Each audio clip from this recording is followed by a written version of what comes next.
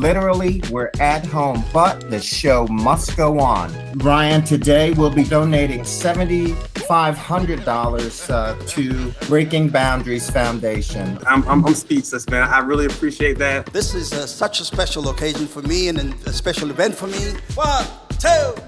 Thank you guys for supporting the Smocks and Jocks event, too. You know, I really believe in what's going on. That's why we're here.